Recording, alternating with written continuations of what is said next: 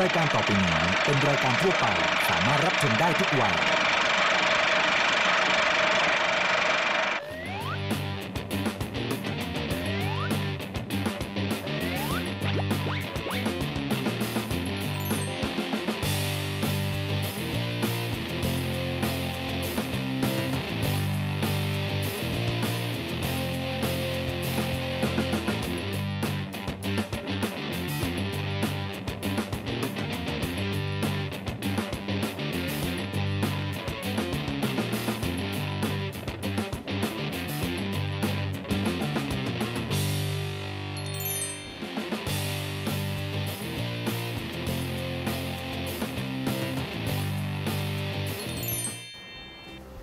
สวัสดีครับ พบกับเท็ดดี้นะครับในรายการ Cooking Guru นะครับทางช่อง Workpoint TV หมายเลข 23 ครับ ทุกวันอังคารเวลาบ่าย3โมงแบบนี้นะครับ วันนี้นะครับผมมาพร้อมกับเมนูอร่อยของเชฟประจวบนะครับ นั่นก็คือเมนูมะม่วงพุดดิ้งครับ เมนูนี้ต้องบอกเลยครับ คุณผู้ชมว่าเก๋มากๆ เพราะว่าพุดดิ้งในสไตล์ฝรั่งนะครับแต่ใส่กลิ่นอายของความเป็นไทยกับผลไม้ไทยๆอย่างมะม่วงนะครับ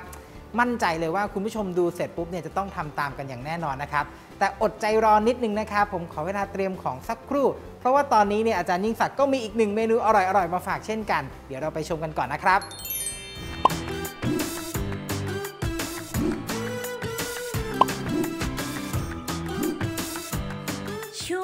ร้านเด็ดอัมพวาการันตี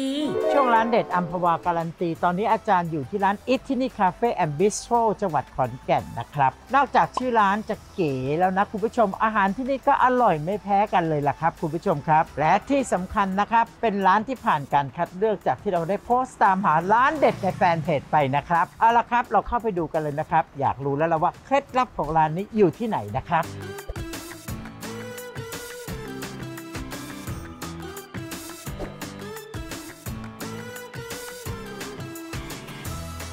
คุณนกคะอันนี้คืออะไรคะอธิบายหน่อยค่ะ ต้มข่าไส้กรอกอีสานค่ะ ต้มข่าไส้กรอกอีสานเหรอคะใช่ค่ะอุ้ยตายแล้วเมนูนี้ว้าวมากเลยคุณผู้ชมคะต้องลองชิมแล้วล่ะ ว่ารสชาติมันจะเข้ากันหรือเปล่าชิมเลยได้ไหมคะได้ค่ะ อันนี้เป็นไส้กรอกอีสานเป็นไส้กรอกหมูใช่ไหมไส้คะกรอกหมูค่ะ ได้ไหมอาจารย์อืมไม่น่าเชื่อเลยนะว่าต้มข่ากับไส้กรอกอีสานเนี่ยมันจะเข้ากันเข้ากัน แล้วมันก็อร่อยจริง ๆนะคะ น้ำกะทิเนี่ยก็เข้มข้นกำลังดี แล้วก็ยังได้กลิ่นหอมของกะทิอยู่ นี่แสดงว่าคุณนกต้องใช้กะทิคุณภาพดีเลยใช่ไหมเนี่ยใช่เลยค่ะ เราใช้กะทิคุณภาพดีอย่างกะทิอัมพวาค่ะถ้วยนี้อร่อยจริง ๆ นะ ฉันอยากจะขอดูเคล็ดลับในการทำต้มข่าไส้กรอกอีสานเนี่ยคุณทำให้ฉันดูได้ไหมได้จริงนะ จริงค่ะ เหมือนอย่างนี้นะ ใช่ใช่โอเคค่ะ ชฟต่ายฉันว่าคุณลงมือเถอะฉันอยากเห็นเคล็ดลับ เคล็ดลับเมนูเด็ดได้รสชาติเหมือนกะทิคั้นสดใช้สะดวกไม่ต้องเสียเวลาคั้นเอง ใช้ได้เหมือนกะทิสดไม่ต้องปรับสูตรเลยค่ะ เสร็จแล้วก็ใส่พวกเครื่องต้มยำลงไป